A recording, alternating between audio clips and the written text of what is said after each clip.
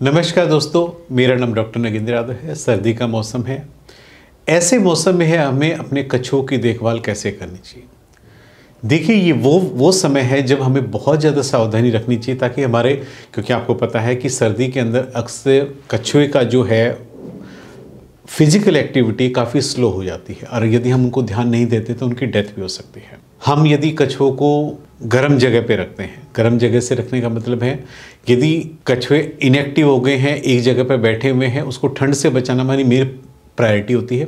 लेकिन हम कई बार क्या करते हैं हीटर वगैरह चला देते हैं रूम के अंदर। हीटर चलाने से क्या होगा, कछुए की बॉडी में डिहाइड्रेशन होने के चांसेस रहते हैं।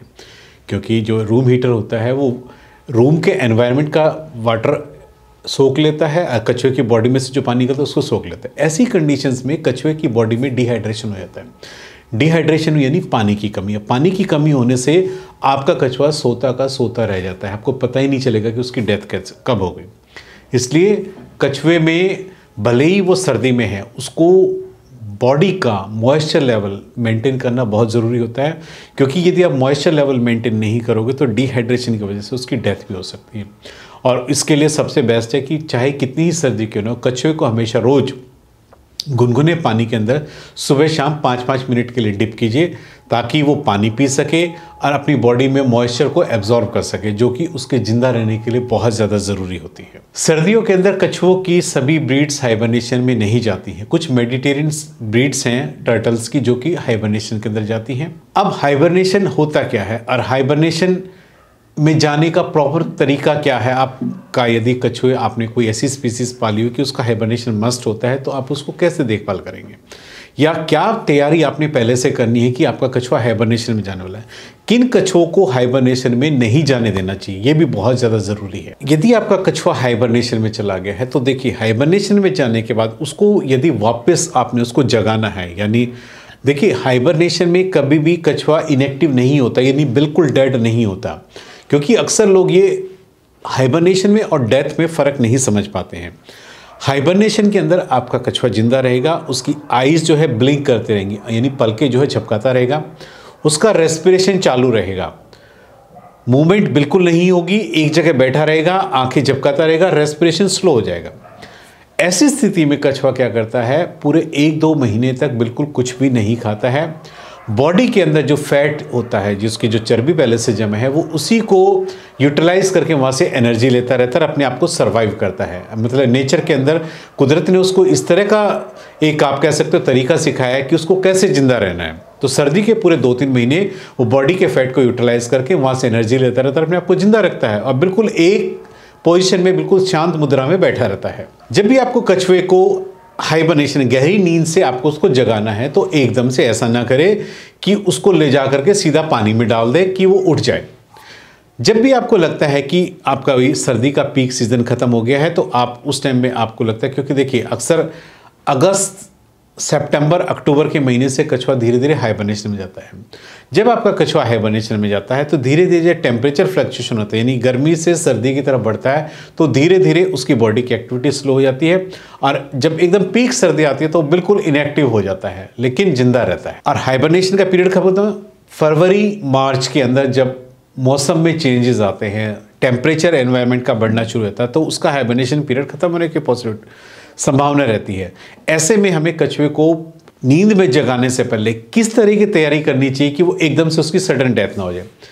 वार्म वाटर लेकर के रोज़ उसको पाँच पाँच मिनट पाँच पाँच मिनट टेम्परेचर का डिफरेंस देकर के उसको डिप करना शुरू कर करिए, ताकि उसकी बॉडी में थोड़ा सा टेम्परेचर अप हो और उसकी एक्टिविटीज़ बढ़नी शुरू। इस प्रकार आप धीरे धीरे धीरे धीरे मौसम के टेम्परेचर के हिसाब से उसको धीरे धीरे आप अप करके उसको हाइबरनेशन में से जगा करके उसको वास्तव पहले की तरह एक्टिव बना सकते हैं और उसका खाना आप जब वो एक्टिव हो जाएगा तो उसके सामने आप खाना रख सकते हैं। यदि आपको अपने कछुए को हाइबरनेशन में जाना हाइबरनेशन का एक रूल होता है, जी, आपको लगता है कि कछुए को उस ब्रीड को वास्तव में हाइब्रेशन उसको 10-15 दिन पहले ही खाना देना बंद कर दीजिए। उसका रीज़न ये होता है कि आपके कछुए ने जो भी खाया वो अगले 10-15 दिन में उसके फीकल मेटेरियल के द्वारा पूरा बाहर एक्सक्रीट हो जाएगा। उसके इंटेस्टाइन में कोई भी फ़ूड बचा हुआ नहीं रहेगा। यदि किसी कारणवश वो फ़ूड उसके इंटेस्टाइन में अंदर जमा रह जाता है वो बाहर नहीं निकल पाता है, ऐसे में वो फ़ूड जो है अंदर सड़ना शुरू होता है वहाँ पर बैक्टीरियल ग्रोथ हो जाती है। वो जो है गैस फॉर्मेशन कर देती है। कहीं ना कहीं वो जो है टर्टल्स की जान को या उससे जो है, उस गैस फॉर्मेशन से टर्टल की डेथ भी हो सकती है। इसलिए पहले पंद्रह दिन फास्टिंग पे रखें, फिर उसको हाइबरनेशन में जाने दें। और नींद में उठाने से पहले भी आप नहीं करना है, उसको दो तीन दिन पहले लगातार उसको पीने के पानी में और गाजर के जूस में थोड़ा सा डिप करें, ताकि उसका थोड़ा सा इम्यूनिटी लेवल बूस्ट अप हो तो फिर धीरे धीरे अपनी नींद से जागना शुरू हो। हाइबरनेशन का जो आइडियल टेम्परेचर है 40 डिग्री फ़ारेनहाइट के करीब होता है, इस टेम्परेचर पे आपका कछुआ हमेशा कंफर्टेबल रहता है, ना तो मतलब वो जागता भी रहता है, सोया भी रहता है। और उसको किसी प्रकार की कोई इतने टेम्परेचर पे कोई परेशानी नहीं होती। जब आपका कछुआ होता है, एक तो हमारी ड्यूटी होती है कि उसको परजीवियों से बचा करके, चूहे वगैरह उसको क्योंकि उस स्थिति में वो अपना बचाव नहीं कर पाता, उनसे बचा करके रखने के लिए उसको किसी ऐसी जगह पर रख करके कवर्ड के मतलब जाली वाले बॉक्स के अंदर कवर करके, जहाँ के उसको चूहों का या किसी और दूसरे जानवर से कोई खतरा ना हो। जब आपका कछुआ हाइबरनेशन में था, उसे बिल्कुल भी डिस्टर्ब ना करे उसको उसी पोजिशन में, क्योंकि बार बार डिस्टर्ब करने से उसकी सेहत पे असर पड़ सकता है। आपने अक्सर देखा होगा, कछुआ सर्दियों के अंदर ज़मीन, गहरी मिट्टी खोद करके अंदर जा करके बैठ जाता है। अगले दो तीन महीने तक उस मिट्टी में से नहीं निकलता। उसका रीज़न से होता है कि ज़मीन नीचे जो होता है, वो गड्ढा खोद करके नीचे जाता है, वहाँ पर काफ़ी गर्म होता है।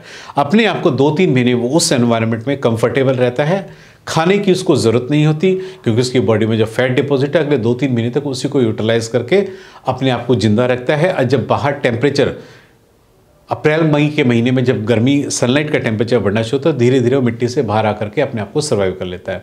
उस दो तीन महीने के दौरान उसका काफ़ी वज़न भी कम हो जाता है, क्योंकि उसने उस तीन महीने तक कुछ खाया नहीं होता है। अपनी, केवल ज़िंदा रहने के लिए, वो एनर्जी के लिए अपनी बॉडी के फैट को यूटिलाइज करके तब तक वो सर्वाइव करता है। यदि आपके पास बॉक्स टर्टल है तो उसके लिए जैसे ही आपका सेप्टेम्बर अक्टूबर का महीना आता है, एक वुडन बॉक्स बना करके, उसमें कपड़ा बिछा करके उसमें एक बल्ब लगा करके आप अपने टर्टल को उसमें रखिए। पूरी सर्दी उसको उसमें सेव करके रखे रखिए, दूसरे जानवर से बचा कर रखिए। और जब आपका सर्दी का ये पीक सीज़न खत्म हो जाए, क्योंकि वो इनेक्टिव पीरियड होता है, उसका हाइबनेशन का पीरियड होता है बॉक्स टर्टल ज़्यादातर हाइबनेशन में जाते हैं।